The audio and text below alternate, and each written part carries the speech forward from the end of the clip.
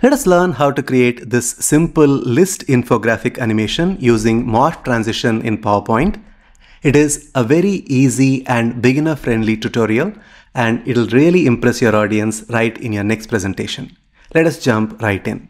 Before that, I'm Ram Gopal from presentationprocess.com if you want to learn 25 creative presentation ideas to upgrade your presentations, then please join our 5-day free email course by clicking on the link in the description box below the video.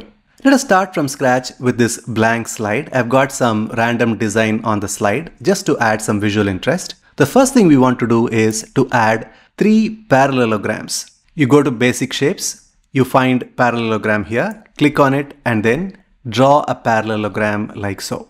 Remove the shape outline by going to no outline and change the color to black. Then use the text box tool to write number one and choose a thicker font. Like in this case, I'm going to use Tw Cen MT condensed extra bold. Increase the font size like so and then keep it right in the middle and then change the font color to something visible like this.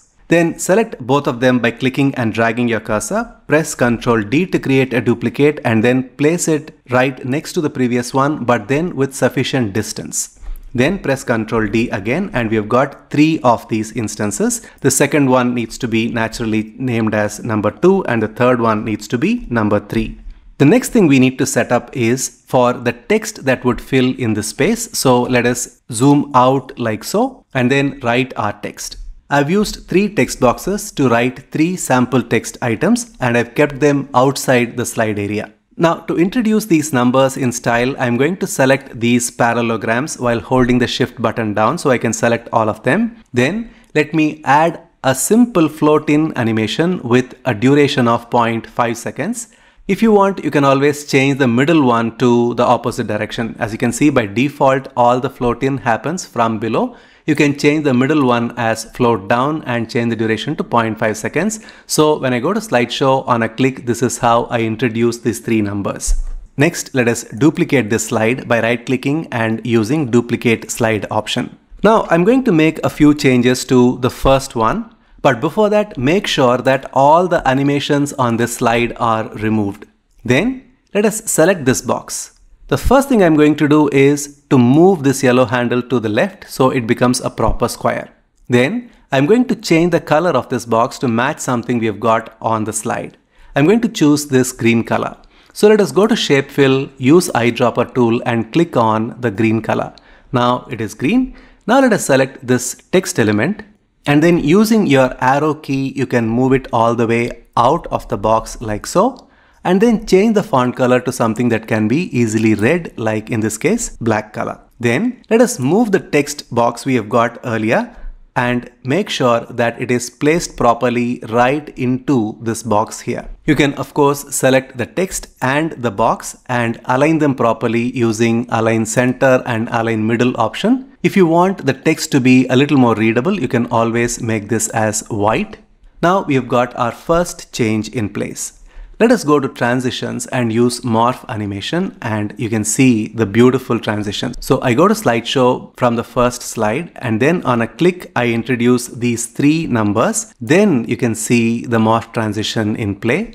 We have got the number pushed up and the text from outside the area has now come into the box and the box color has been changed from black to this green color. Now we are going to repeat this by right clicking and using duplicate slide option and we're going to do exactly what we did earlier. Select this, push this yellow handle to the left so it becomes a square. Then use your arrow keys to move this text box out and give this a color that is readable. I'm going to use black. I'm going to move this text box inside the box like so. And then the background color is going to be something that I see on the slide. In this case, I'm going to use this orange color.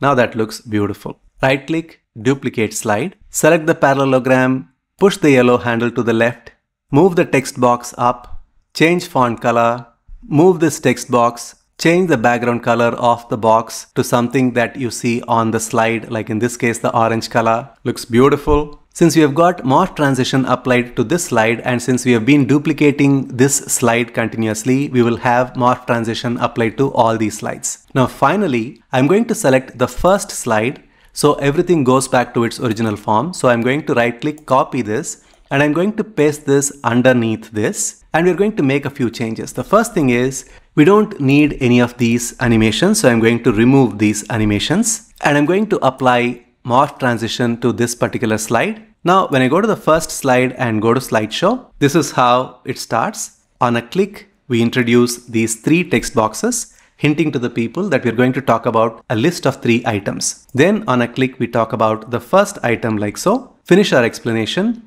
Then we click and introduce the next item and then we introduce the third item. So that is how you create a beautiful list infographic using morph transition in PowerPoint. If you want to master PowerPoint and improve your presentation techniques to grow your career and business, then a good course to join would be our Ram Gopal's PowerPoint Mastery Program. This program is in fact a collection of 42 courses each course is specifically designed to hone one specific skill. So by the time you finish these courses, you will be able to create some beautiful and effective PowerPoint presentations. You can click on the link in the description box below the video and take a look at this page and watch this video to see how this program can change the way you create your presentations. If you are a beginner in PowerPoint and you want to pick up some useful tips in PowerPoint, then you can watch this playlist next I will leave a link to this playlist right now on your screen. You can click on the link and watch those videos next to improve your PowerPoint game. I'll see you inside those videos.